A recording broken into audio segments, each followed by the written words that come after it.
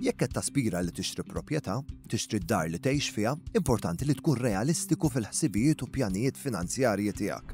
Żomm f'moħħok li trid tħallas il-kapital inizjali u l-pagamenti ta' kull xahar li jinkludu l-interessi jekk kemm il-darba ser tieħu self biex tixtri proprjetà mingħand il-bank. Kun żgur li l-pagamenti ta' kull xahar tkun tiflaħ għalihom u li ma jpoġġukx f'pożizzjoni skomda u ma tlaħħaqx mal-għajxien u spejjeż ta' kuljum. Jekk ser tixtri l-ewwel proprjetà tiegħek, ikseb informazzjoni kollha tal-iskemi li qed joffri l-Gvern, skemi mmirati biex jgħinuk takkwista l-ewwel proprjetà tiegħek. Żomm f'moħħok ukoll li apparti milli trid tfaddal biex ikollok kapital inizjali, biex il-bank isellfek il-flus għall-proprjetà, trid tfaddal ukoll għal spejjeż oħra bħal mhuma spejjeż relatati mas-servizzi tan-nutar bħal riċerka, konvenju u kuntratt, spejjeż relatati mal-assikurazzjoni tal-proprjetà, spejjeż biex ikollok life insurance li jkopri s-self li ser tieħu mill-bank, u xi spejjeż oħra, fosthom legali, li jimponi l-bank. Meta tfittex proprjetà, żomm f'moħħok il-fatturi ewlenin li jżidu fil-valur tal-proprjetà, bħalma huma ż-żona li l-proprjetà qiegħda fiha, l-aċċessibilità, kif inhi mqassma l-proprjetà, u kemm hija mdawla. Dejjem fittex opinjoni professjonali ta' perit qabel taċċetta li tidħol fi ftehim ta' xiri ta' proprjetà, u qatt taċċetta li tixtri proprjetà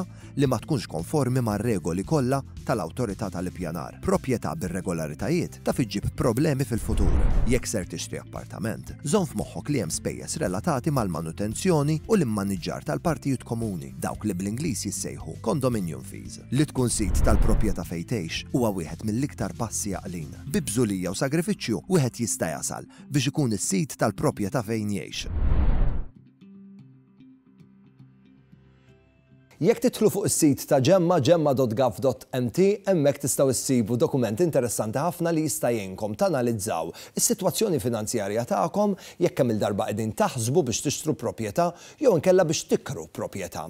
Dan id-dokument huwa Gemma Purchasing versus Renting Property. Pratikament huwa Excel sheet li pass pass ħa jgħinek telenka l-ispejjeż kif ukoll ħa jgħinek tikkalkula X'inhuma l-investimenti finanzjarji kif ukoll x'inhu l-introjtu finanzjarju tiegħek u sa fejn tista' tasal bl-investiment tiegħek. Għalhekk idħol fis-sit gemma.gov.mt sabiex tkun tista' tniżżel dan id-dokument u tkun tista' tibda tużah fl-ippjanar finanzjarju tiegħek.